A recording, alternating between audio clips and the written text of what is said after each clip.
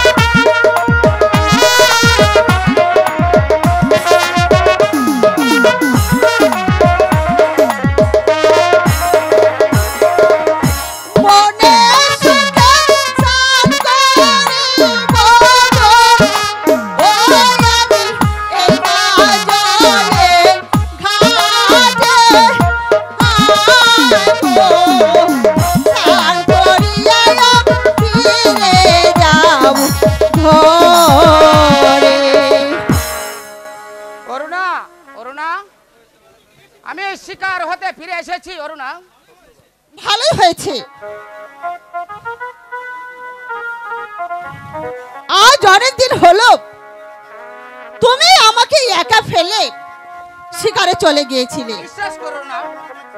আর আমি এদিকে চিন্তায় চিন্তায় মরে যাচ্ছি। বিশ্বাস করুন না। মা অসুস্থ। হরিণের মাংস খেতে ইচ্ছা করছে। তাই ভাবলাম তোমাকে বললে তো যেতে দিবে না। তাই তোমাকে না বলে চলে গেলাম অরুণা। আচ্ছা হয়েছে। এই শোনো এবার বলো শিকার থেকে আমার জন্য কি এনেছো? একটি হরিণ এনেছি। আচ্ছা কোথায় সে হরিণটি রাজমহলে। না গো না সত্যি করে বলো। হরিণটি দেখতে কেমন? লাল টুকটুকি মধুর আরে হয়েছে হয়েছে। আর বলতে হবে না। এবার চলো আমরা প্রাসাদে চাই প্রাসাদে যাবার আগে তোমার মধুর কণ্ঠে তাই? বুঝি? তাই।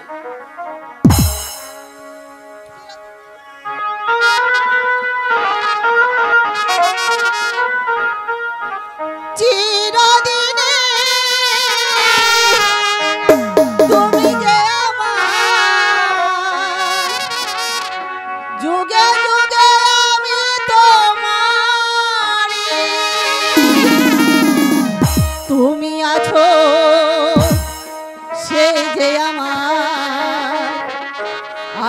আছি সে তোমার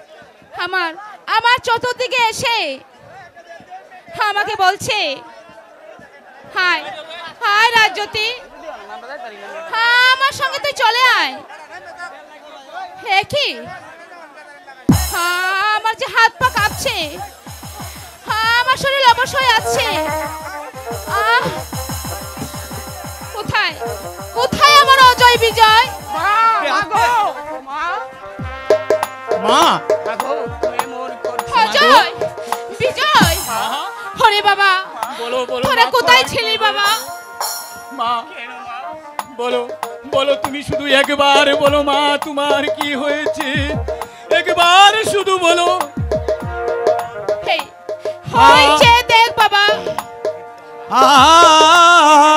কেন মাতা?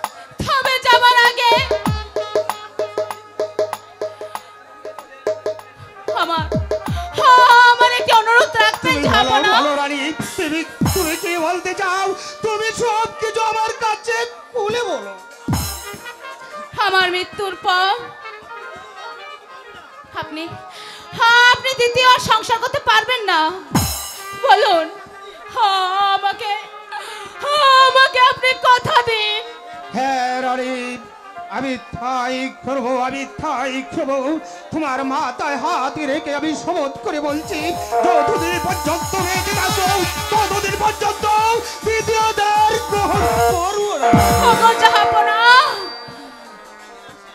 আর সেনাপতি দিলেন সেন আমি আমি তোমার হাতে তুলে দিলাম।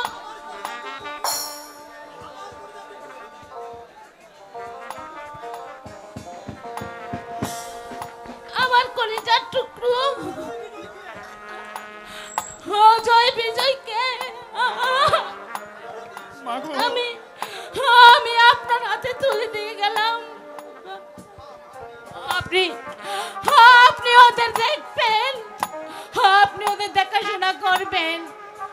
মহারানী এই এই আমি ভগবানের নামে দিব্যি করে বলছি আমার দেহে এক বিন্দু রক্ত থাকতেই আমি দেব না অজয় বিজয়ের কোনো হতে। এবার আমি মরে গিয়েও আমি যে শান্তি পাবো। না মা। তুমি আমাদেরকে চড়ে চলে যেতে পারো না মা। তোরা তোরা আর কান্না করিস না। তোরা আর কান্না করিস না বাবা।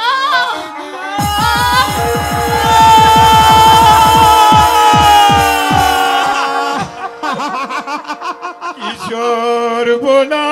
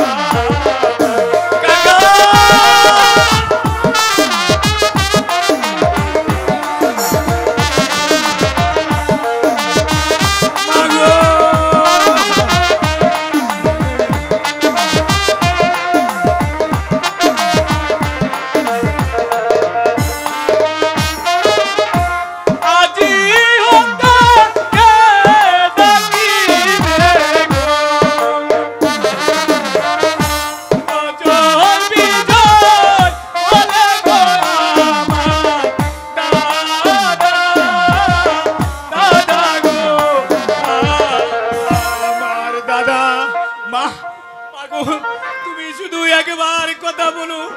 আজ থেকে আমরা বলো কাকে মা মা বলে ডাকবো মা। ওরে পিতা পিতা!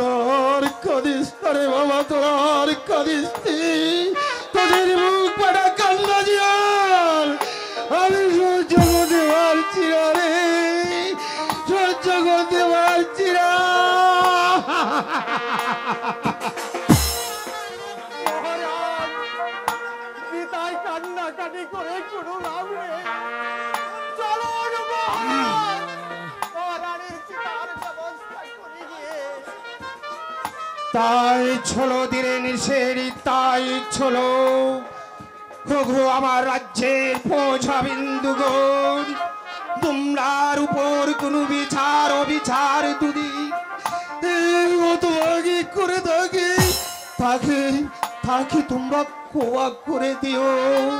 ওরে বাবা অজয় ওরে বাবা বিজয় চলে করে তোর বার তাই চলুন পিতা চলুন মা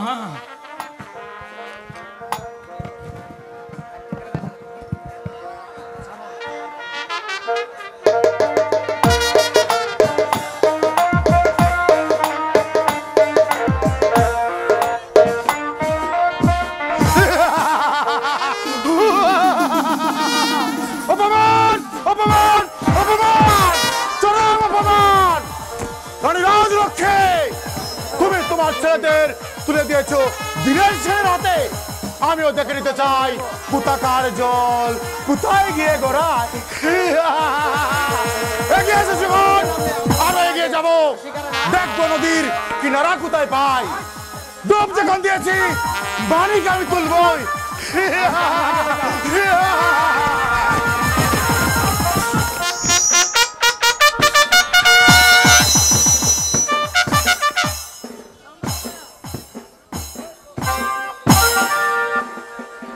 সেনাপতি মহাজয়গণ, বলুন মহারাজ, আজ আমার রাজ্যে একটা নীরবী নিস্তব্ধ মনে হচ্ছে। সারা রাজ্য মাঘের মধুর আনন্দ নেই। সারা রাজমহলে একটা বোমা কান্না ছড়িয়ে রয়েছে। রানী রাজরক্ষী মৃত্যুর পর থেকে আমার মনটাও দূর চিন্তা ভরে উঠেছে। তাই তো আমি মনস্থ করেছি। আমি যাব হরিক স্বীকার করতে। তাতে তোমাদের কি মহারাজ আপনি হরি শিকার যাবেন। এতে আমার কোনো আপত্তি নেই মহারাজ। আমি বলছিলাম কি মহারাজ শিকারে না যাওয়াই আমাদের জন্য মঙ্গলজনক। কারণ কোন জঙ্গলে আমাদের বিপদ হতে পারে? না মহারাজ আপনার এই প্রধান সেনাপতি থাকতে আপনার কোনো বিপদ হতে পারে না মহারাজ। সাবাস সাবাস রঙ্গনাল তাই তো আমি চাই আর আমি ছাড়ি এই রাজ্যের সবাই আমার সঙ্গে বেইমানি করতে পারে। আমার এই বিশ্বাস তো সেনাপতি দিলেন সেন কেটুনির বেইমানি করবে না? তাও দিলেন সেন এখনই এই মুহূর্তে শিকারের আয়োজন করবে মহারাজ।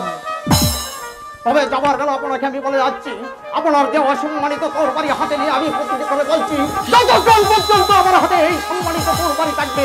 এই রাজ্যের প্রতি কেউ করতে পারবে না। এরপরেও যদি কেউ করতে আসে তাহলে তাকে এই সমাজ ধরে যাব। আর শুনুন সেনাপতি রঙ্গনাল বলুন মহারাজ। শিকারি থেকে দিলে সে উল্কার বেগে ছুটে যাবে আবার রাজ্যের অভিমুখে গরিবদের বাদে তুমি খাদ্য বিতরণ করে দেবে। গরিবদের কাছ থেকে রাস্তর আদায় করে আনবে যে রাজ্য রাস্তর দিতে অস্বীকার করে তাদেরকে ধরে নিয়ে আনবে আমি বিচার করব।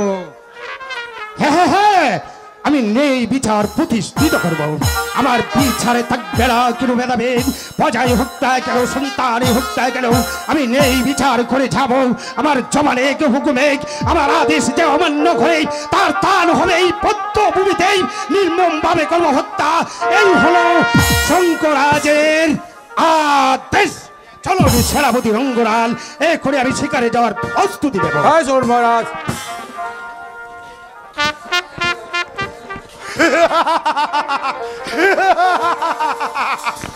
সবে মাত্র আকাশে মেঘ জমেছে। জ্বর উঠতে এখনও অনেক অনেক বাকি। ডুব যখন দিয়েছি, মানিক আমি তুলবই। নরক গভীর কল্পনা আর ধর্ম শক্তিহীনের সান্ত্বনা।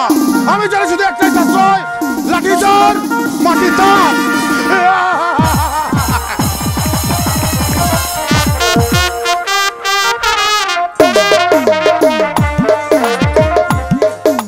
ভগবান।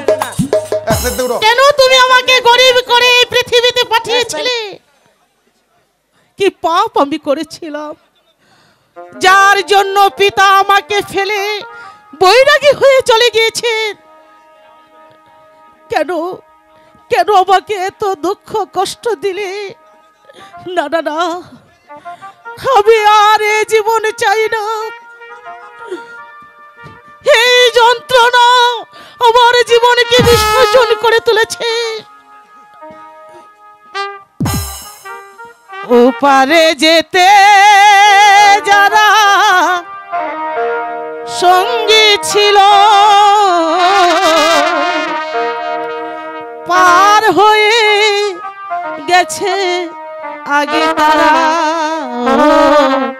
আমি অনেক পিছনে পড়ে আছি।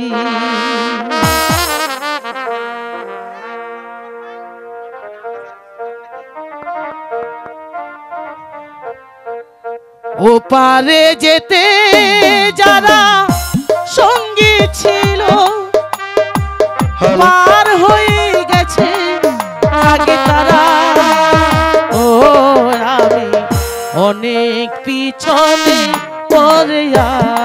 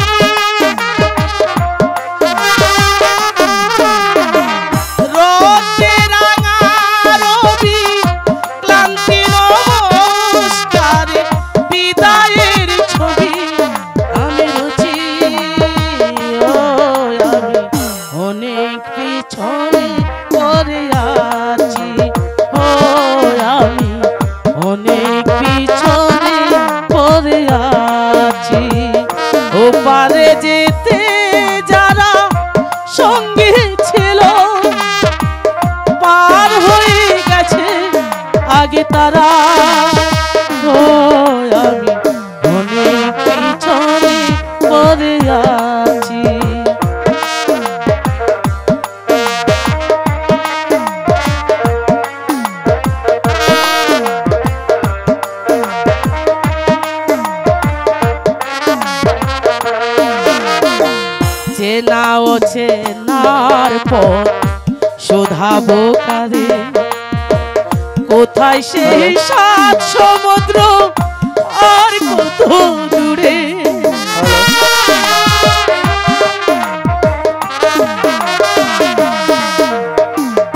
নায় অচেনার নার শোধাবো কারে?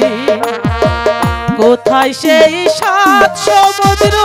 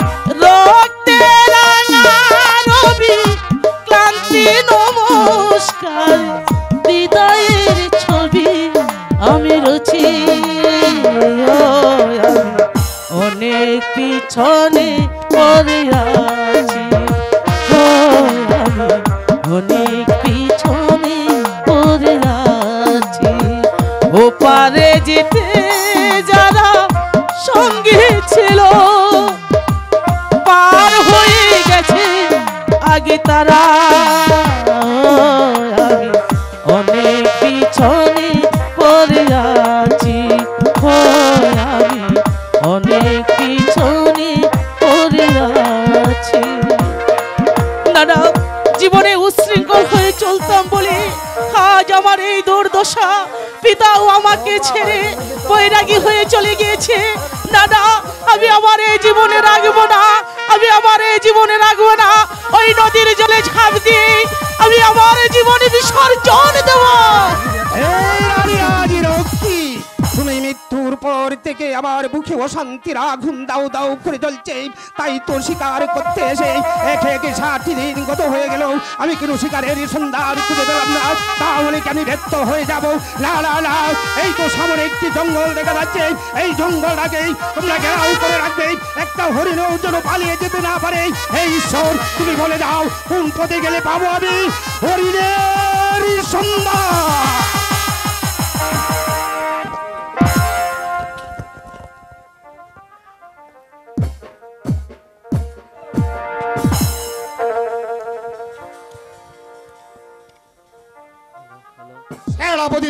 সেন। তুমি হুঁশিয়ার হয়ে যাও, জঙ্গলে হয়তো আমাদের বিপদ হতে।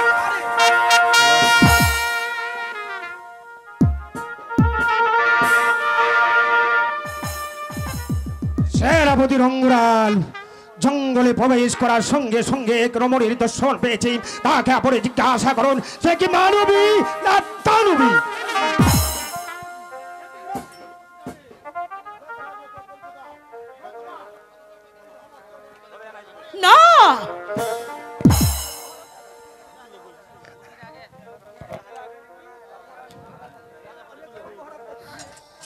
আমি আমি এক সর্বহারা পথের মেয়ে। তাহলে তুমি এই ভয়ানক জঙ্গলে কেন? মেয়ে কোলে জন্মেছি বলে পিতা আমাকে এই জঙ্গলে রেখে বৈরাগী হয়ে চলে গিয়েছেন। তাই তো তাই তো মরার জন্য এই জঙ্গলে চলে এসেছি। মেয়ের খুলে জন্ম নিয়েছ ওই বলে তোমার পিতা তোমাকে জঙ্গলে রেখে সে বৈরাগী হয়ে চলে গিয়েছে এই বলে তুমি আত্মহত্যা করবে কেন? আমি আমার জীবনে কত হাজার হাজার মেয়ে দেখেছি কিন্তু তোমার মতো সুন্দরী মেয়ে আমি কোথাও দেখিনি। তোমাকে যদি আমি আশ্রয় দেই তাহলে তুমি কি আমার সঙ্গে যাবে? মহারাজ সত্যি সত্যি কি আপনি আমাকে আশ্রয় দেবেন? না শুধু আশ্রয় নিয়ে থাকবে এখানে অপূর্ব সুন্দরী কন্যা। তুমি যদি প্রস্তাবে রাজি হয়ে যাও তাহলে সারা জীবন আমার রানী হয়ে থাকবে। সোনা ধারা ঘয়না দিয়ে পড়ে দেবো তোমার এই সর্বঙ্গ। একটা না দুটি না তিন তিনটি দাসী বাদী তোমার সেবা করবে। মহারাজ ইয়ে মানে হ্যাঁ, আমি আমি মানে আপনার প্রস্তাবে রাজি? এ কি মহারাজ? পথের একটি মেখে না জেনে না শুনে প্রাসাদে আশ্রয় দেওয়াটাকে আমি ভালো মনে করিনি মহারাজ। তাহলে তোমার ভাবতে হবে না। ভালন ভালন বন্ধ সেনাপতি রঙ্গরাল তোমার কি অভিমত? যাব না। আজ অনেক দিন হলো মহারানী গত হয়েছেন। উত্তম, আপনার সেবার জন্য একজন রমণীর প্রয়োজন মহারাজ। উত্তম উত্তম যুক্তি দিয়েছেন সেনাপতি রঙ্গরাল। আমি তবুও বলছিলাম কি মহারাজ আপনি মেয়ে বয়সী একটা পথের মেয়েকে প্রাসাদে আশ্রয় দিলে প্রজারা তা কিছুতেই মেনে তুমি আমাকে ঘেন দিতে শোনা যা করতে হয় এই শঙ্কুরাজ করবে। যাও তুমি এখন বিশ্রাম করে যাচ্ছি মহারাজ? তবে যাবার বেলা আপনাকে আমি বলে যাচ্ছি মহারাজ। আজ যে ভুল পথে আপনি পা দিয়েছেন সেই ভুলের মাসুল একদিন করাই বন্যায় আপনাকে দিতে হবে। সেই দিন চোখের জলে মুখ মাসালেও সেই চোখের জল মিশার মতো এই রাজ্যে একটা প্রজাও খুঁজে পাবেন না মহারাজ।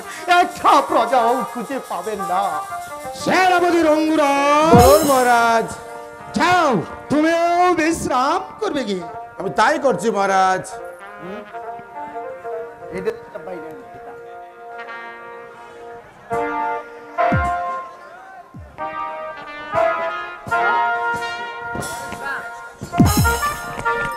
আমি বলে করছি না কোনো মহারাজ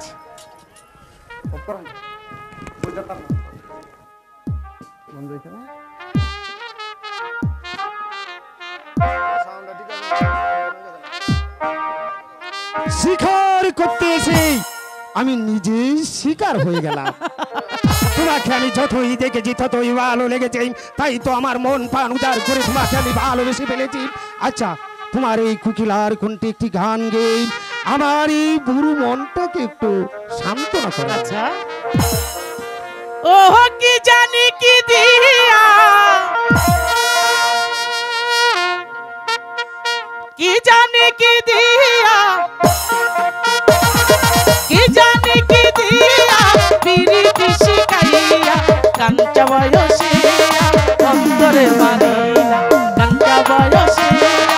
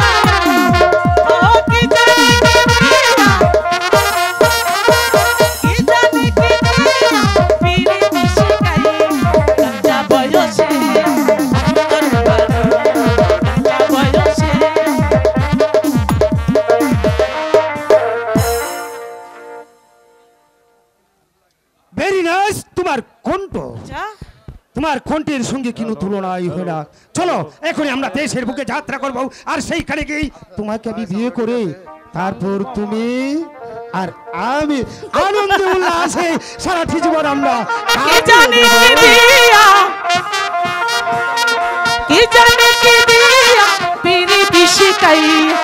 দিয়া বয়সে অন্তরে বাড়ি কাঞ্চা বয়সে অন্তরে বাড়ি।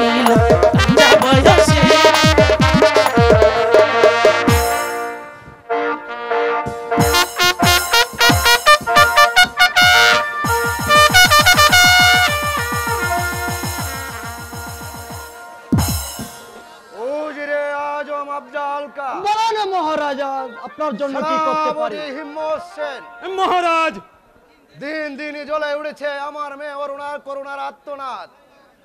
জানি না অরুণা বেঁচে আছে কিনা মরে গেছে। আজ বৃষ্টি বৎসর গত হয়ে গেল। কিন্তু আমার মা মরা মেঠার আমি কোনো সন্ধান খুঁজে পেলাম না। অতীতের কথা বাদ দিয়ে মহারাজ বর্তমান নিয়ে এগিয়ে চলুন। মহারাজ! যে চলে গেছে তার কথা না ভেবে আপনি রাজকুমারের কথা ভাবুন মহারাজ।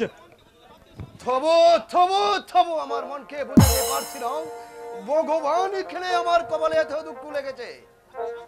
আপনি শান্ত হন মহারাজ। ভগবান যা করে তার বাপ মঙ্গলের জন্যই করে। আর ভগবানের লেখা কোনোদিন কন্ডানো যায় না।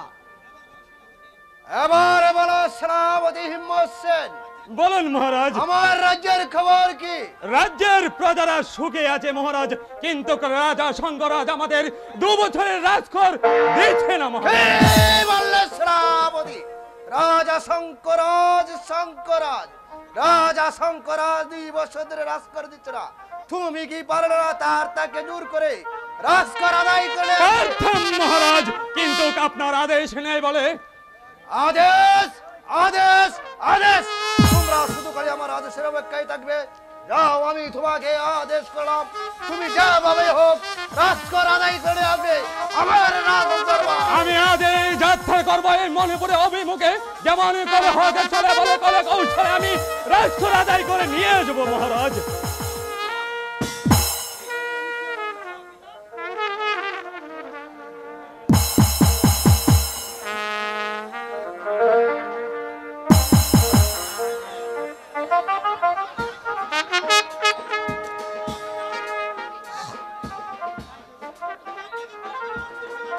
পিতা আমি আপনাকে খুঁজে সারা রাজপ্রাসাদে কোথাও পাইনি। পিতা আপনি আমাকে স্কুলে ভর্তি করে দিন পিতা। আমি লেখাপড়া শিখব। ঠিক আছে মামুনি। আমি সভাপতির সাথে তুমি আগামী কালকে স্কুলে ভর্তি হয়ে আসবে। না পিতা আমি সেনাপতির সঙ্গে কিছুতেই স্কুলে যাব না। আমি উজির কাকার সঙ্গে যাব। উজিরে আজম আফজাল শাহ। মহারাজ। আপনি আগামী কালকে আমার মেয়ে ফুল কুমারীকে স্কুলে ভর্তি করে দিয়ে আসবেন। ঠিক আছে মহারাজ। আমি আগামী স্কুলে ভর্তি করে বিশ্রাম কক্ষে চলে যাই। তাই চলুন পিতা। তাই চলো রে মহারাজ।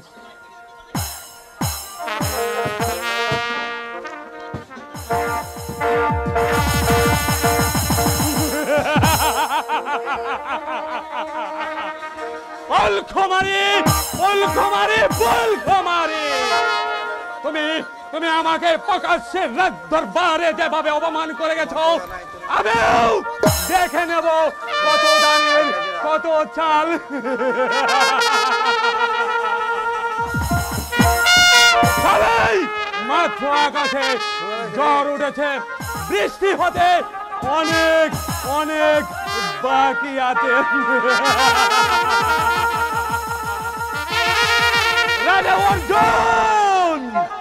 তোমাকে আমি তোমাকে আমি একেবারে এই দুনিয়ার বুক থেকে একেবারে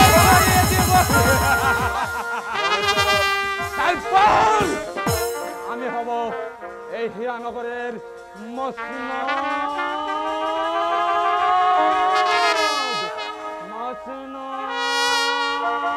তুমি আমাকে রোজ রোজ জাদু ঘরের মতন ডাকো, হিম্মত। তুমি এসো, আমার বুকে উপবাসন করো।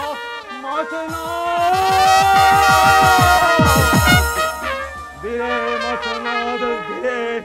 আমি যখন এই মসনদে বসবো তখন তখন শাহজাদি পুলকুমারীকে বানাবো আমার। এই দিলের রানী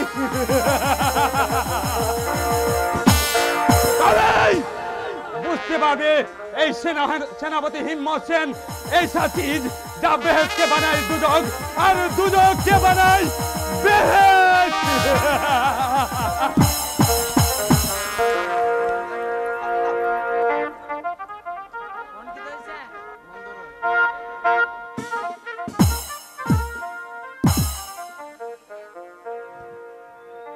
শোনো রানী এটা হয়েছে আমার রঙ্গমহল এইখানে তুমি আর আমি, আমরা দুজনে মিলে আনন্দ, উল্লাসে, সারাটি জীবন আমরা কাটিয়ে দেব।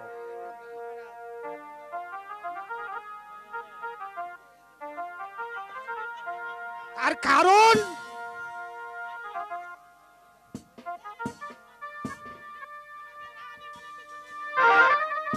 বলছো রানী?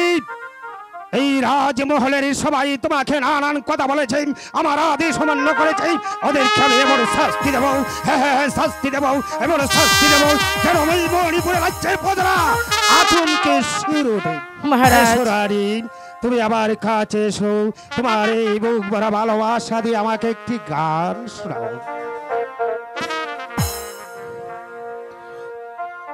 কুঞ্জ বনে তোমারই শোনে।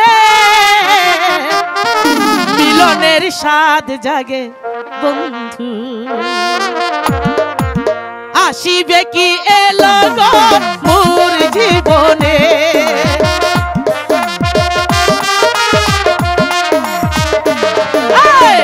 আসিবে কি এলো মোর জীবনে? মিলনের মিলনের মিলনের স্বাদ জাগে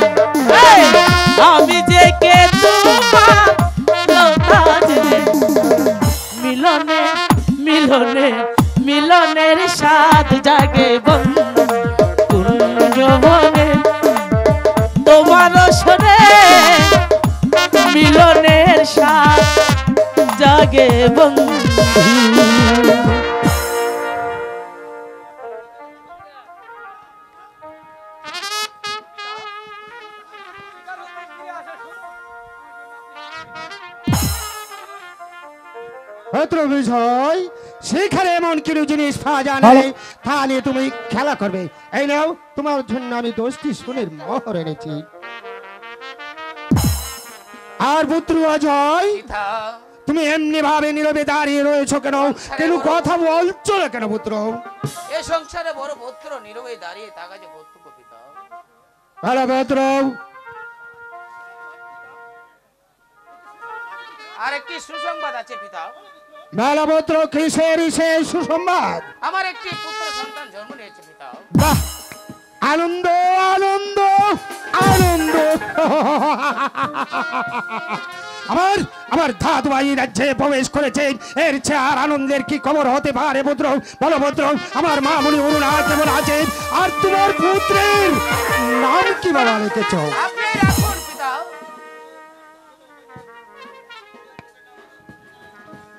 হ্যাঁ শঙ্করাজের নাথের নাম অজয়ের পুত্রের নাম বিজয়ের বাস্তার নাম। হ্যাঁ পেয়েছি পেয়েছি পেয়েছি। অজয়ের পুত্রের নাম হয়েছে যুবরাজ অজিদি কুমার। আর সুরপুত্রগণ তোমার এই ভীমাতাই রাজ্যে প্রবেশ করার সঙ্গে সঙ্গে আমার দাদুভাই আমার দাদুভাই রাজমহলে প্রবেশ করেছে। তাদের উপলক্ষে তোমার ধীরন কাকার কাছ থেকে দু লক্ষ টাকা নেবে। আর এই টাকা দিয়ে ডাক ডোর সারায়ের বাঁশির সুরে সুরে আমার সারা রাজমহল আনন্দে আনন্দে মুখরিত করে তুলবে। তাই করব পিতা। যা ভদ্রগণ তোমার এই ভীমাতাকে তোমরা তাই করছি পিতা। করছি পিতা। মা মাগো। আমাদের প্রণাম আপনি গ্রহণ করুন মা। মা।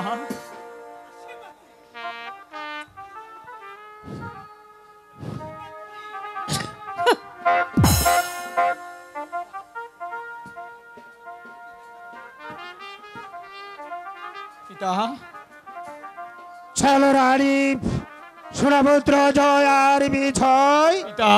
তোমরা এমন কি অন্যায় করেছ তোমার বি মাথা তোমাদেরকে দেখে। না পিতা না।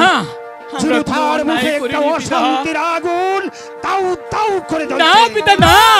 না, অজয় আর বিজয় সে আমার খুলিদার টুকরো।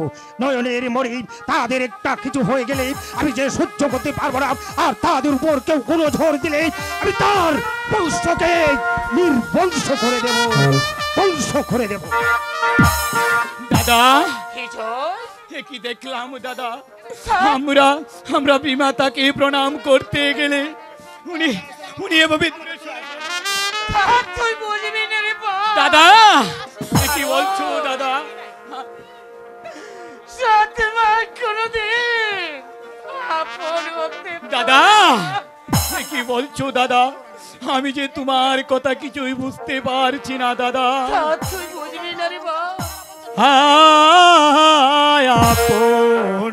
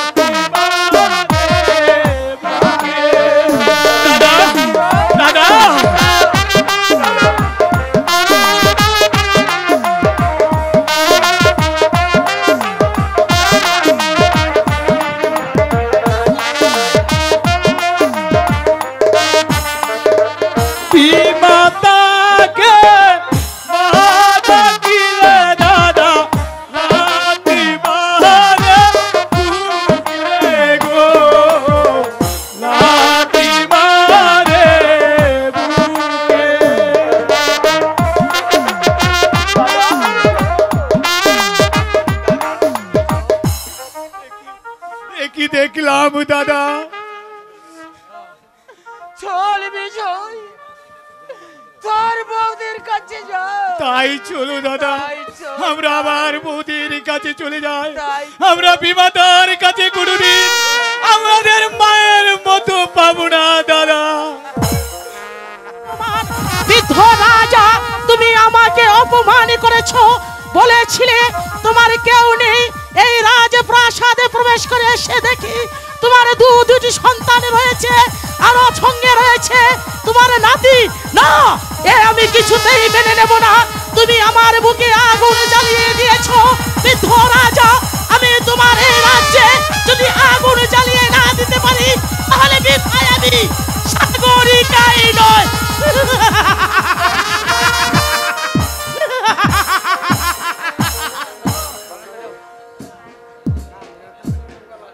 আছিস? সেনাপতি রঙ্গলালকে এখানে পাঠিয়ে দে। আমায় কেন স্মরণ করেছেন মহারানী? সেনাপতি আমি যেদিন তোমাকে ওই জঙ্গলে দেখেছি আমি সেদিন থেকে তোমার মাঝে হারিয়ে গেছি। আমি আমার মনকে কিছুতেই ধরে রাখতে পারছি না। কি বলছেন মহারানী? আপনি হচ্ছেন এ রাজ্যের রানী আর আমি সামান্য একজন বেতনমুক্ত কর্মচারী। আপনার সঙ্গে শোনো সেনাপতি আমি যা চেয়েছি তাই হবে। কারণ ওই বৃদ্ধ রাজার ধারা আমার এই যৌবনে কিছুতেই চলতে পারে না। বলো বন্ধু আমি যা চেয়েছি তা পাবো। তা কি করে সম্ভব মহারানী? সবই সম্ভব সেনাপতি সবই সম্ভব।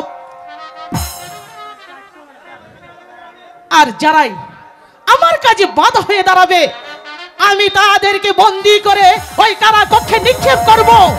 বলো বন্ধু, বলো। আমি তোমার সঙ্গে সুখের রচনা করতে চাই। বলো। বলো বন্ধু।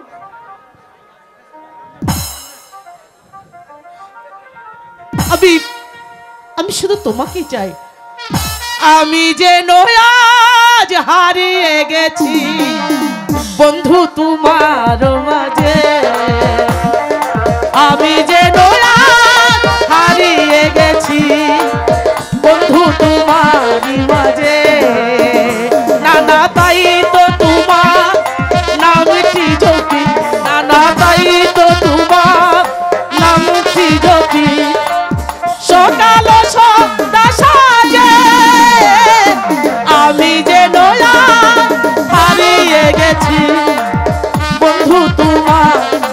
মাঝে।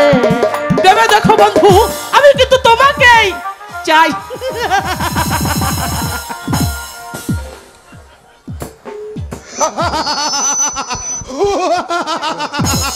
রানী সাগরিকা, তুমি এখন আমার প্রেমে হাবুডুবু খাচ্ছ। একবার যদি তোমাকে আমার আয়ত্তে আনতে পারি। তাহলে এই মণিপুর সিংহাসনের মালিক হবে এই সিংহাসলা রঙ্গলার কোথায় স্মরণ করলেন দাদা? শোনো সাগরিকা এখন আমার আর তুমি যদি আমাকে একটু সহযোগিতা করো, তাহলে এই মণিপুর সিংহাসনের মালিক হতে পারি আমি। এই কি বলছেন দাদা। যার ঘরে অন্য পালিত হয়ে তার সঙ্গে তোমার বেইমানি করতে পারব না দাদা। শোনো মদন তোমার সাহায্যে যদি আমি এই মণিপুর রাজ্যের মালিক হতে পারি তাহলে তোমাকে বানাবো আমার প্রধান সেনাপতি। সেনাপতি ধীরেন সেন। সেনাপতি ধীরেন সেনকে অন্ধকার কারাগারকে নিক্ষেপ করব। এবার তুমি শুধু বলো আমার প্রস্তাবে রাজি কি না? এখন আমি যে কি করি ভেবে চিনতে পারছি না। একদিকে রাজার অঙ্কার আর একদিকে সেনাপতির পদ। এখন যে আমি কি করি? একই মদন কিছু বলছো না যে? হ্যাঁ হ্যাঁ দাদা রাজি আছি। কিন্তু আমার সঙ্গে বেইমানি করতে পারবেন না। ভগবানের দিদি আমি যা বলি, তাই করি। এবার এসো, আমরা দুজনে হাত মিলাই।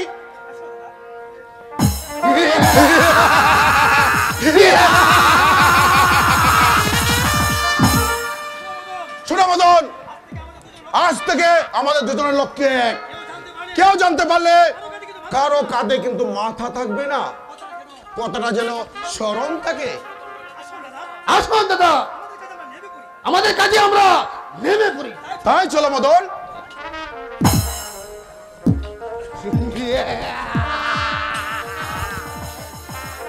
দাদা!